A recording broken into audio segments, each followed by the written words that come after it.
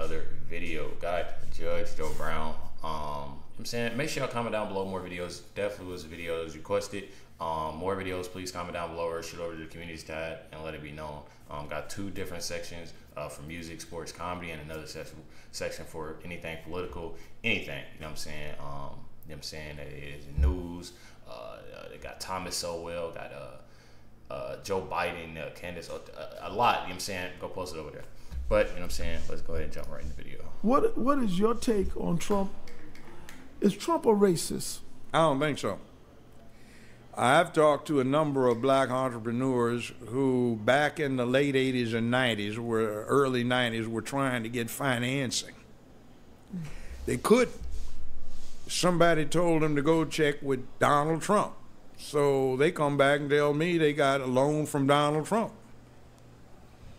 He gave them a term loan. Show up with the interest and the principal, one check, but they had to go see him personally. Hmm. They independently relate this tale that when they saw him, he said, "This what you supposed to pay me? This our agreement?" Said, "Yeah," and then tore the check up, shook their hands, and congratulations. Now run your business.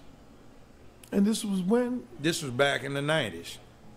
See, most people don't even know this. He had a sister. He was every time you saw him back in the nineties, fine paper bag, brown, beautiful black model. Where is Joe, Judge Joe Brown from? He sounded like you from down south somewhere. paper bag, brown, beautiful black model. He likes fine women. He didn't have any problem with dating a black woman, walking her down red carpets.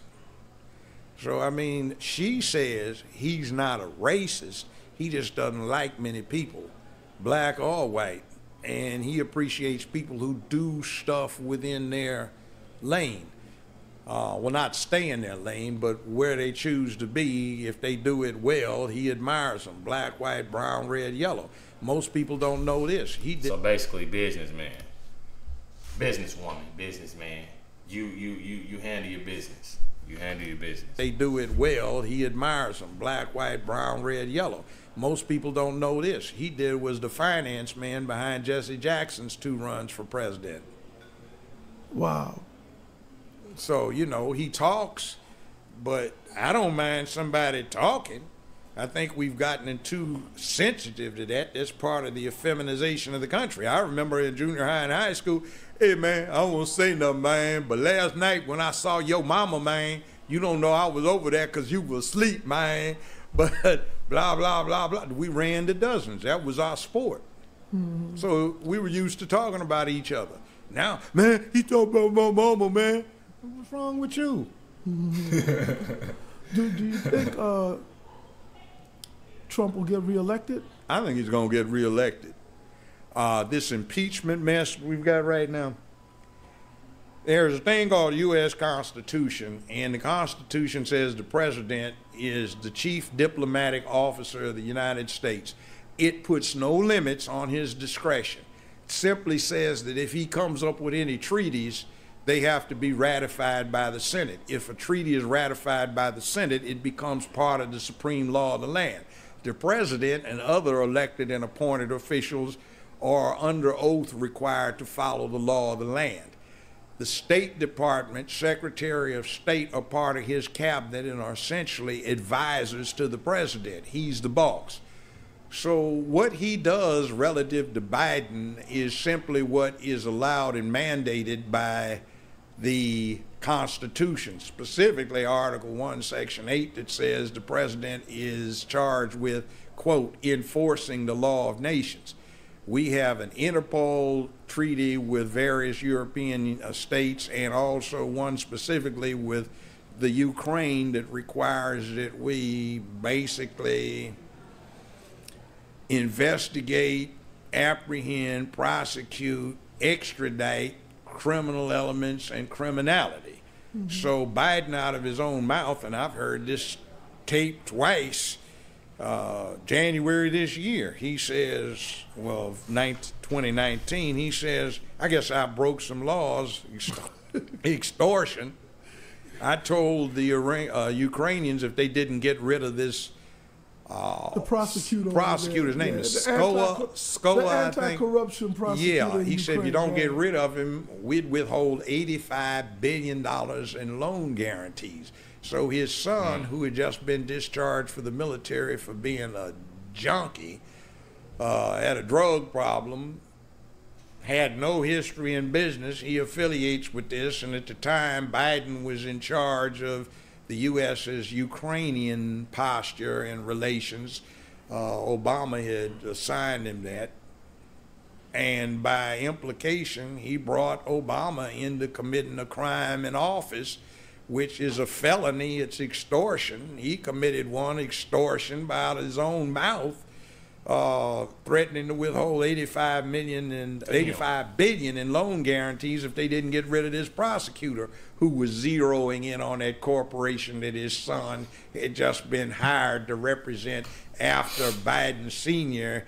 had uh, been assigned by the president the task of dealing with Ukrainian diplomacy.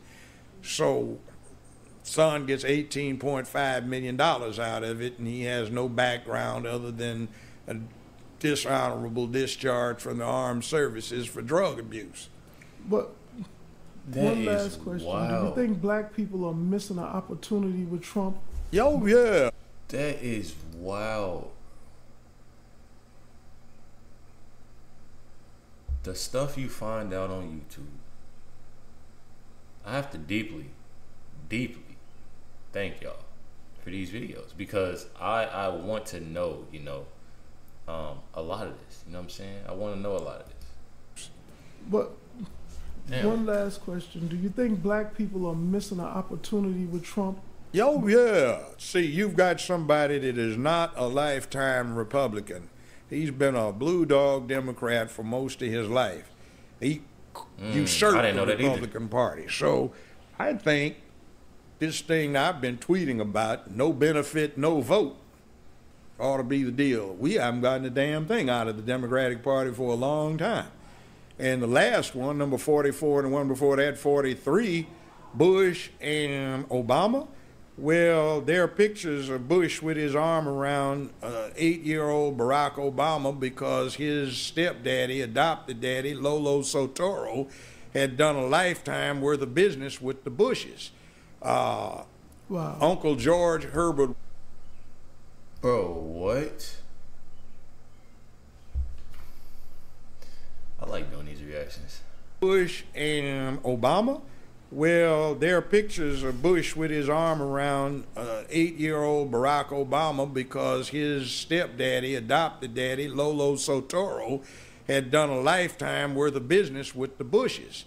I did not know that. Wow. Uncle George Herbert Walker, after whom George Herbert Walker Bush, Bush one president, was named, founded Halliburton in 1946 in Oklahoma. And Lolo Soetoro had been international executive vice president for Standard Oil. There, there was talk of him being a CIA asset. Oh, well, yeah. See, he ran the death squads for the Indonesian army. On his mm-hmm. own call, anyone could be assassinated. So when George Herbert Walker Bush became head of the CIA under the Ford administration, he just got with his old buddy in the oil business, Lolo Soetoro, and pulled off the hits. See, uh, Barack's grandmother has been acknowledged as being the woman that operated the channels through which CIA money went to the Southwest Pacific. So she introduced her daughter, who had just had Barry, Barack, to Lolo Soetoro, and they got married, and Lolo Soetoro adopted Barack Obama. The name was changed to Barry Soetoro. Mm-hmm. Now, when he went to high school in Hawaii, I know about that high school. I almost sent my oldest son to it. I could afford it, but I didn't think he observed, deserved it. 20 years ago, the tuition was $95,000 a year, not including room and board. When Obama went there, I've talked to two of his classmates. They independently state that the tuition, not including room and board, was 45000 now, Business Insider reports his income for 2017 at over 200 million net. That's after taxes, deductions, write-offs. Mm-hmm. For this last year, 2018, they reported it as 570 plus million dollars. And that's after all deductions, tax, right? Trump doesn't make that net. I mean, even some of the richest people in America don't make that. Why? Because when his stepdaddy died, he was one of the 10, 15 richest men on earth. And he left everything in a trust fund operated out of Indonesia so oh. the American government can't touch it. That makes Barack Obama one third ben- Bro, keep Judge safe, man. Protect him at all costs. I did not know this shit. This shit is wild. Like hearing, like I, it started off. I ain't gonna lie. It started off like I was like, okay, yeah, and then it's like, like your head got bigger and bigger. It's like, damn, like, damn, like that's a lot. plus million dollars. And that's after all deductions, tax, right? Trump doesn't make that net. I mean, even some of the richest people in America don't make that. Why? Because when his stepdaddy died, he was one of the 10, 15 richest men on earth. And he left everything in a trust fund That's operated out of Indonesia so oh. the American government can't touch it. That makes Barack Obama one third beneficiary for the assets of one of the 10, 15 richest men on earth.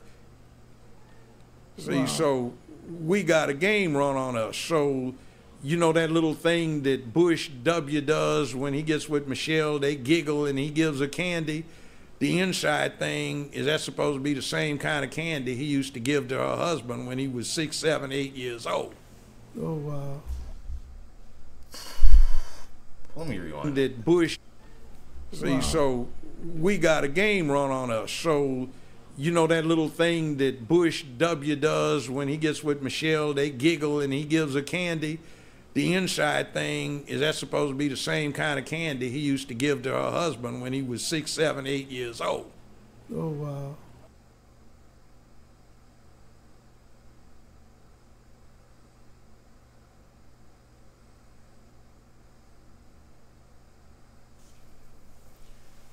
There's so much stuff that I don't know that I'm just figuring out. That's some crazy shit. That's crazy. Make sure I hit the like with that subscribe button. Uh, this is definitely like mind blowing. Like I, I swear, like I reacting to these videos, uh, any any the the new videos that I'm reacting to, I think this is one of the craziest ones that that I've heard and seen so far. Definitely was was a good was a good video. Definitely was a real good video. Um, make sure y'all hit that like button, hit that subscribe button. Definitely wasn't expecting you feel me. Uh, uh, uh, uh, the ending, you know what I'm saying? The, the end of that video, I, I had to rewind it, you know what I'm saying? It was crazy. Make sure y'all hit that like button, that subscribe. Definitely appreciate everybody tuning in. Make sure y'all comment down below. Go check out the communities tab um, for the next video um, y'all want to react to. Definitely appreciate y'all. Catch y'all next one.